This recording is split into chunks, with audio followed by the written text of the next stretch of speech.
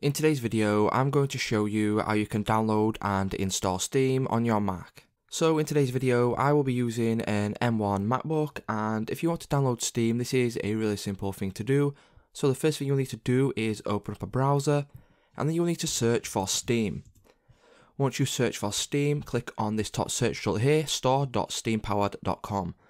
Click on that there and then as you can see, you'll be on the Steam homepage and in the top well, at the top here, you'll see Install Steam. Click on this button. Once you click on this, it will automatically detect what device you are on. So as you can see, I am on Mac. If you are on Windows, you'll obviously be able to download it for Windows. So click on the Install Steam button right here.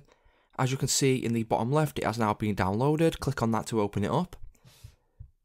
And then what you will be presented with on Mac is this here. And all you simply need to do is click and then drag Steam into Applications once you have done that, you can come over to your launchpad, go over and scroll, and then as you can see in my games folder here, Steam will now be located right there.